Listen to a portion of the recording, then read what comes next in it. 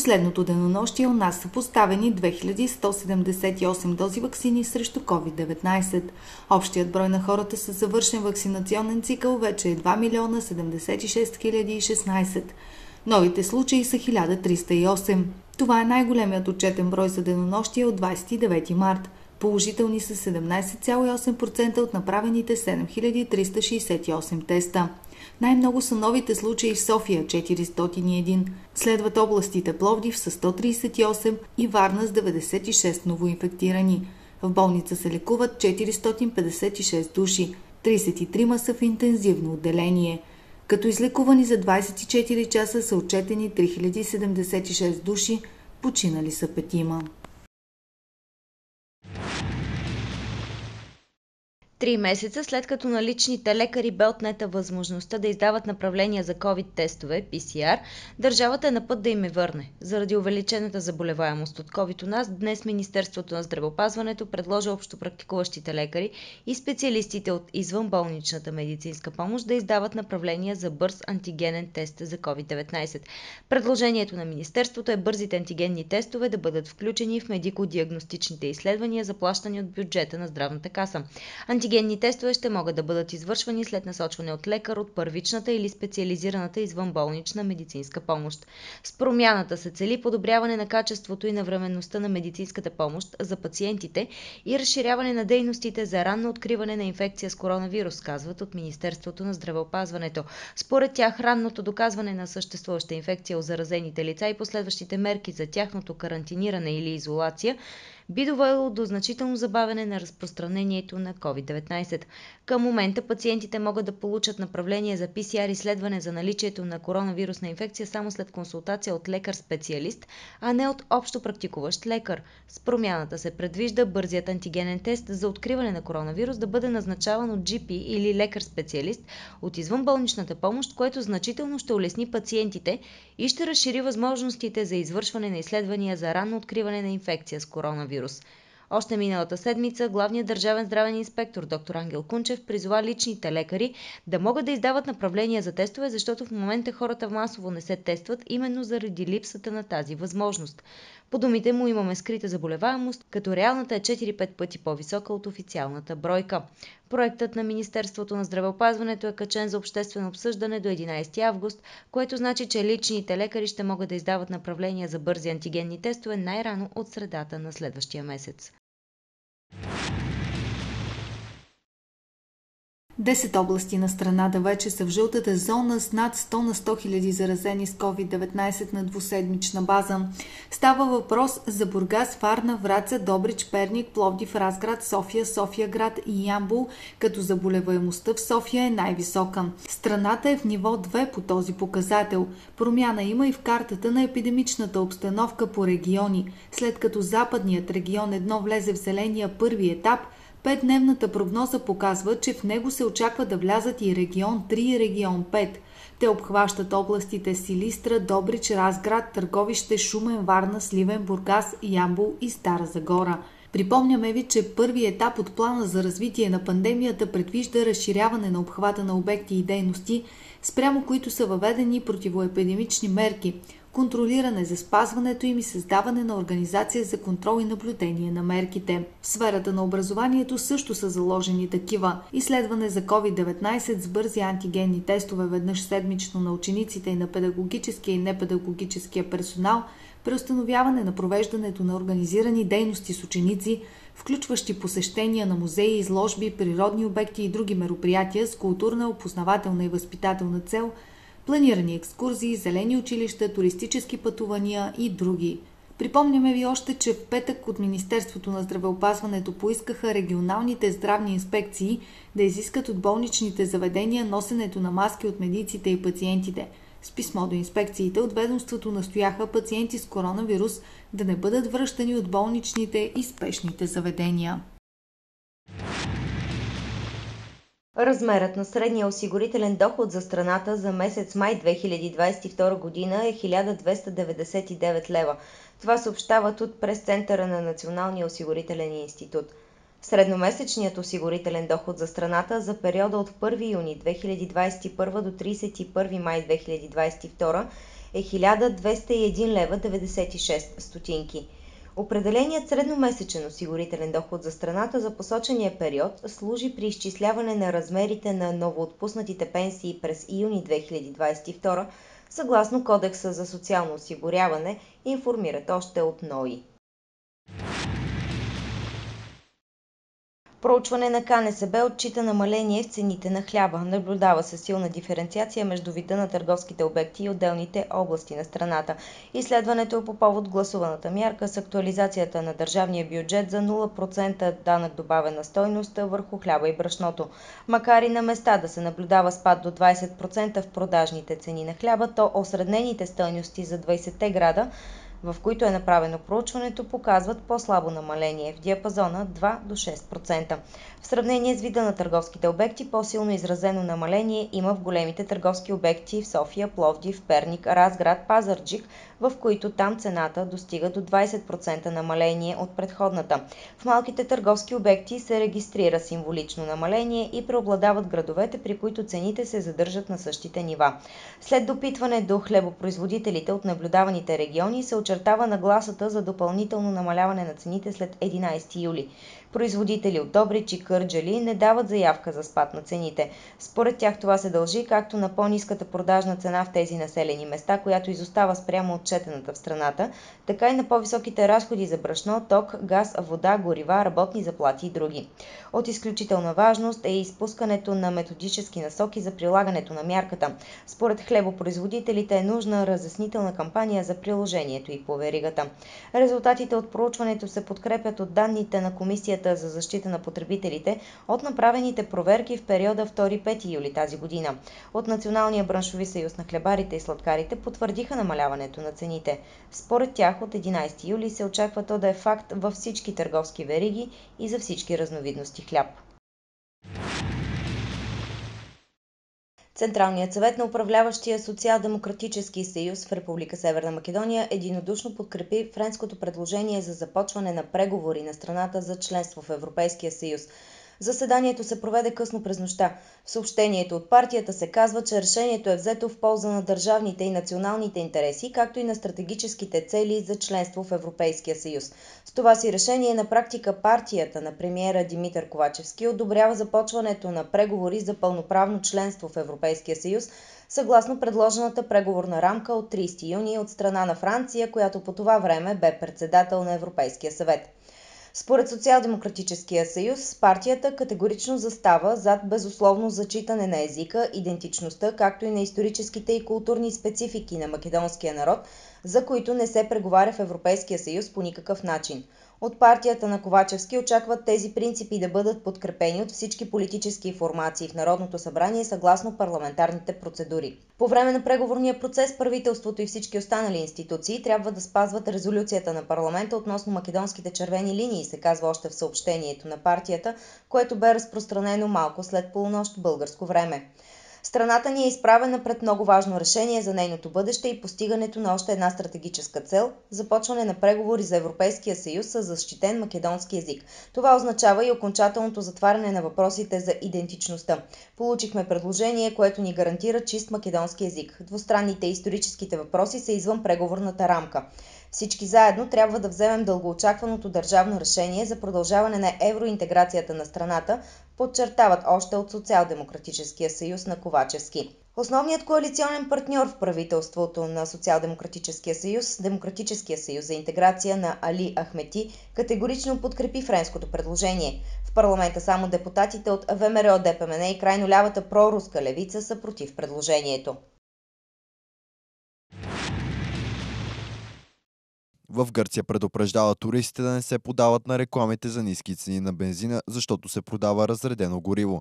Масово да се проверяват качеството на горивата, предлагани от бензиостанциите, съобщават от Министерство на развитието, като посочат броят на затворените обекти поради нарушения.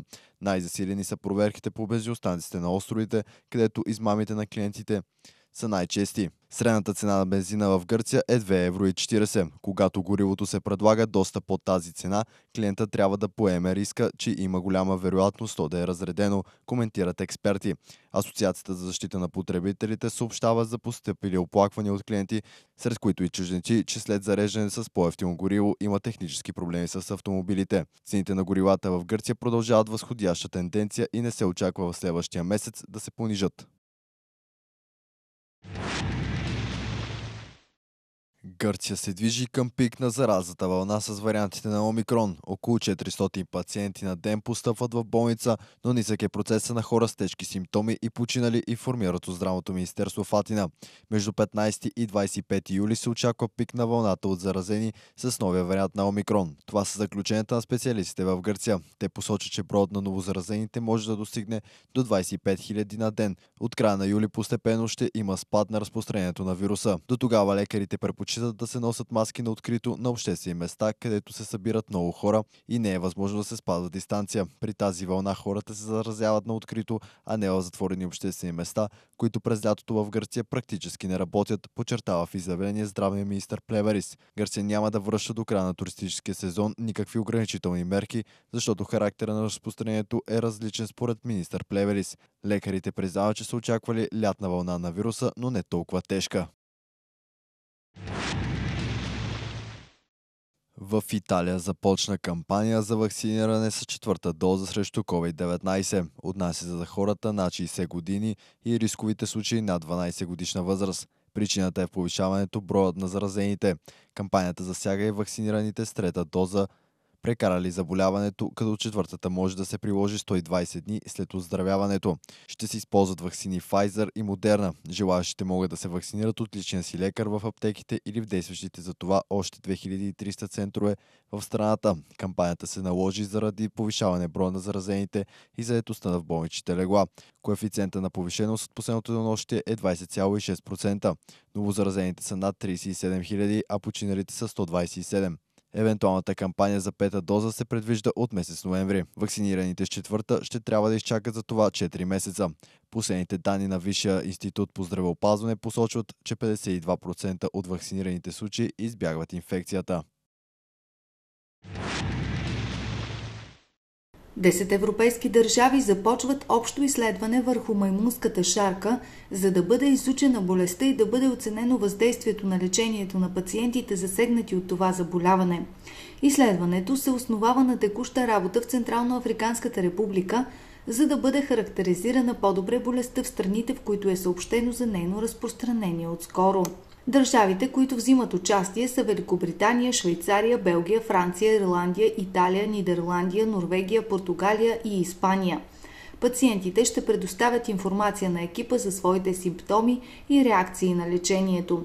Те ще бъдат проследявани, за да бъде установена скоростта на възстановяването им или развитието на осложнения. Първите пациенти вече са набрани в университетските болници в Женева. Във Франция скоро също ще бъдат включени пациенти. Кметът на община Камено Жело Вардунски е внесъл жалба до Върховен административен съд срещу решението на вътрешния министр Бойко Рашков да закрие районното полицейско управление в града. С заповед на министъра то става полицейски участък, който ще бъде на подчинение на второ репил в Бургас. Жалбата е подписана също така от общинските съветници в Камено, от кметовете на населени места в общината и от директорите на детските градини и училища. Честно да ви кажа, аз не виждам с тази реформа какво реформираха или какво спести толкова мевали след като го направиха камен участък. Но това са тяхни неща, но въпреки всичко аз си мисля, че трябваше да уведомят обществеността и ръководството на общината за техните намерения. Ние в момента знаем само номер на заповед, дори да отворите и сайта на МВР, самата заповед е няма публикувана, така че всичко се направи на тъмно и просто обществото в Камено е възмутено а, от тези действия. Районното полицейско управление в Камен остава самостоятелна структурна единица на МВР преди 15 години. Причината е нарасналата престъпност в общината. Към днешна дата битовата престъпност е сведена до минимум благодарение на усилията на служителите на РПО-то. Значи сега трябва да чакаме да се дигне престъпността и пак ще отнем районно управление.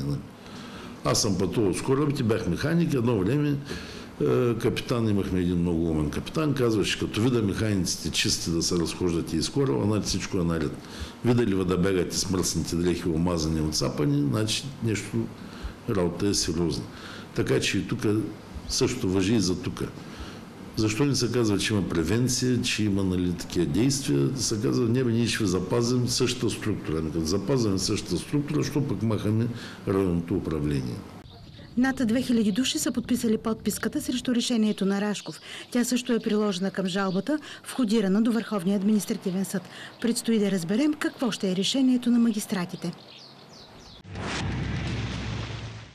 Варненският административен съд е образувал дело срещу заповедта на областният управител, с която се забранява движението на моторни превозни средства по голям участък от така наречената крайбрежна алея. Той е под номер 1563 от 2022 година и е по жалба на един от концесионерите на градските плажове.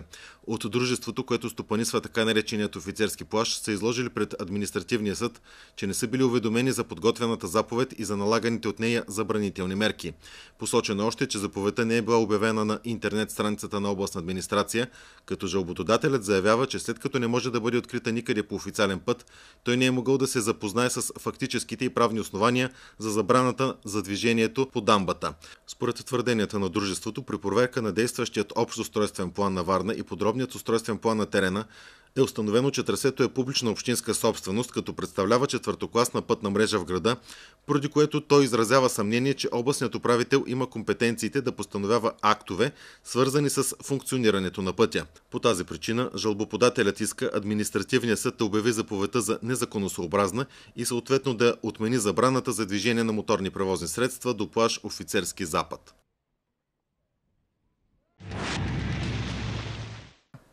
Средната полезна площ на едно жилище във Варненска област е близо 73 квадратни метра, като в градовете тя е 73,3 квадратни метра, а в селата е 70,5 квадратни метра. Това сочат данни на Териториално статистическо бюро Североисток. Средната жилищна площ на човек от населението във Варненско е 34,6 квадратни метра, като за градовете тя е 34 квадратни метра, а за селата 37,7. Към 31 декември 2021 година броят на жилищата в областта е 269 700. В градовете се намират над 220 000 жилища или близо 82% от общият брой сочи статистиката. По-голямата част от жилищата са две или три стаи, малко над 70 на 100 от всички жилища в областта, следвани от жилищата с 4 и повече стаи 20%, а едностайните 9,5%. Според разпределението на жилищните сгради по конструкция преобладават тухлените сгради 80 200 или 79,% от всички жилищни сгради. Стоманобетонните жилищни сгради са 6,7%, панелените са 1,6%, а сградите с друга конструкция са 12,7 на 100. Софийската математическа гимназия отново е с най-висок минимален бал за кандидатстване след седми клас в столицата. Близо 486 точки от максимум 500. Оттам са и петимата пълни отличици на изпитите от националното външно оценяване. Това показва първото класиране за приема в гимназите, което беше публикувано днес. И тази година най-желаните паралелки след седми клас в София са с профил чужди езици – английски и испански. Най-много ученици са поискали да учат в 22-ро средно училище Георги Сава Раковски. На второ място е 32-ро средно училище с изучаване на чужди езици Свети Климент Охриски. Най-предпочитаните училища за професионална подготовка са Национална търговската банкова гимназия и Националната финансова стопанска гимназия. Първите девет училища в София с най-висок минимален бал са същите както през 2021 година, но с размяна на позиции. Списъка води Софийската математическа гимназия. На второ място е Технологическото училище електронни системи към Техническия университет София, следвано 91 немска гимназия. В националното външно оценяване в София са участвали 11 500 ученици. Подалите заявления за класиране са 11 000. От тях 1100 не са класирани, защото бала им не е бил достатъчен за паралелките, които са пожелали. Те ще участват автоматично във второто класиране.